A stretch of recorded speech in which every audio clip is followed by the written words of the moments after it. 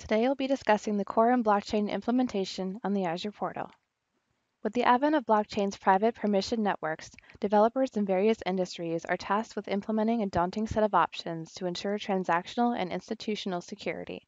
Developed by JP Morgan Chase to address this task, Quorum supports transactional volumes per institution with privacy at the transaction level, Quorum is a blockchain consortium, a private network, with support for smart contract business logic applications and a proprietary dashboard interface called Cakeshop for managing the network and contracts.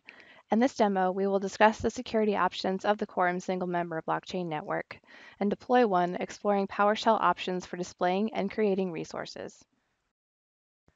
Blockchain is a distributed open source ledger. The transactions are verified by multiple nodes, with each transaction constituting part of the chain and acting as an immutable record.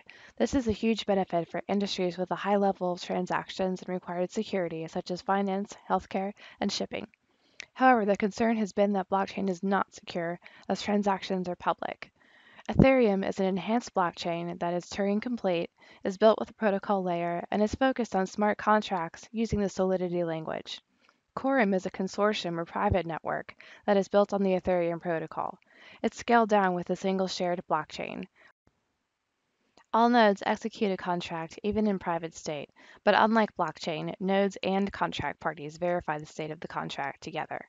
This project takes you through implementing your own Quorum blockchain in the Azure portal.